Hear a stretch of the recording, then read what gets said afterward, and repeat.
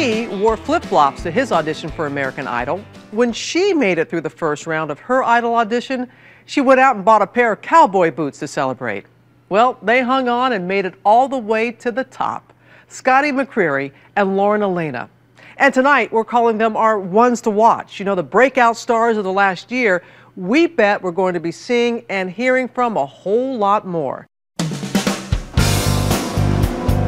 Welcome to Garner High School in North Carolina, where Friday night football is king.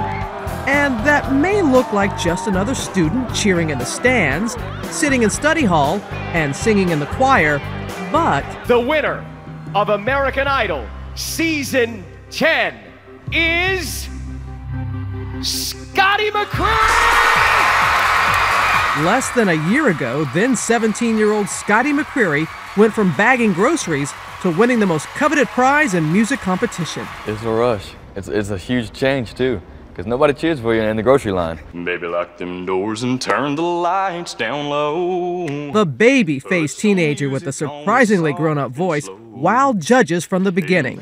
And so did this teenager so good as you did last night. Best we've seen today. Best, best I've seen today in Nashville.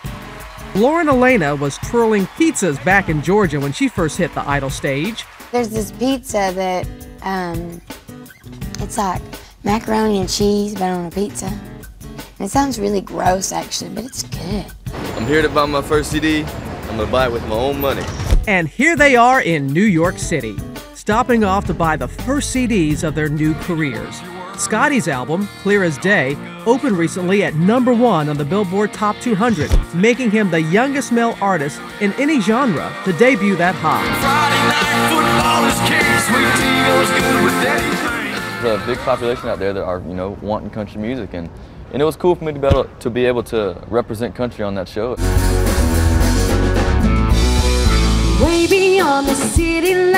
And Lauren's disc, Wildflower, is the best selling debut by a female country artist since 2006, featuring songs that parents and even preteens can enjoy with a clear conscience. I know that a lot of my fans are young girls, and it's kind of my job now to set an example for those girls.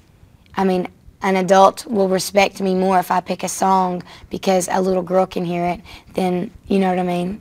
She turned 17 today, but it wasn't that long ago that little Lauren first sang for an audience.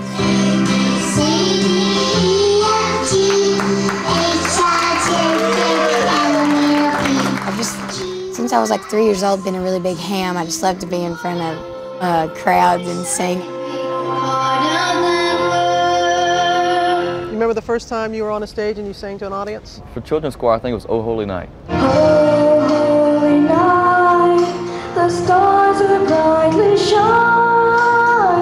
Of course, I was stiff and I was holding my mic just like this, scared.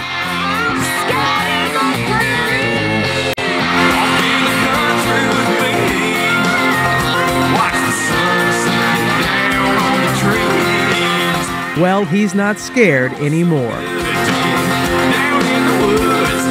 Scotty's song, Walk in the Country, just might have been written about his hometown.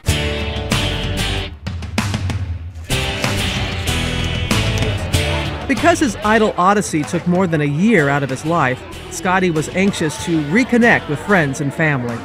I love my hometown. I, I love the people I grew up around, and I wouldn't trade that for the world.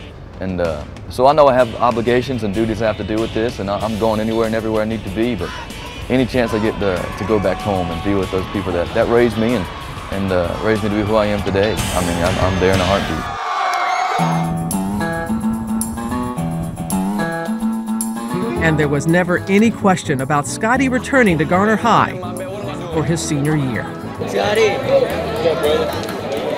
It's not so much just about learning two plus two equals four. I mean, you learn a lot about yourself through school and learn about life experiences. All right, sounds good. What's going on, brother? Which I said, Matt, don't plan it on me. Like that hat, sir. Somebody told me, they said, Scotty, when you left, you were Scotty McCreery. When you came back, you were Scotty McCreery. You haven't changed. Hollywood hasn't got to you. American Idol is probably the hardest thing that I will ever go through in my whole life. Like, it literally was the most difficult journey. When I tried out for the show, I was 15, and my mom had to quit her job and, like, literally put her life on hold to move to California with me. Lauren's mother, Christy, is ever present at her daughter's side.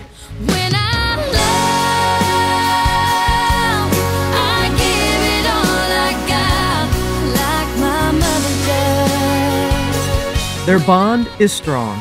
Lauren's first video is a loving thank you called Like My Mother Does. Lauren happily traded in the everyday routine of high school for photo shoots and interviews. And then it, like, looks at you. And while Scotty and Lauren's side by side rise to success has fueled romance rumors, the teens are not romantically linked. They do share a mutual gratitude for where they've come so quickly and where they're going. What do you think you want? When they asked me in the very beginning, in the very beginning, they said, Scotty, what makes you different? Why do you think you can do this? And I said, what makes me different is I'm normal. I don't have any tattoos. You won't find my mugshot on the internet. Everything that I've wanted is, is has started happening because of them, because of the show, and because of the voters. So to talk to them and thank them is cool. Just close your eyes and listen to the two teens singing Lady Antebellum's American Honey, and you just might hear the future of country music.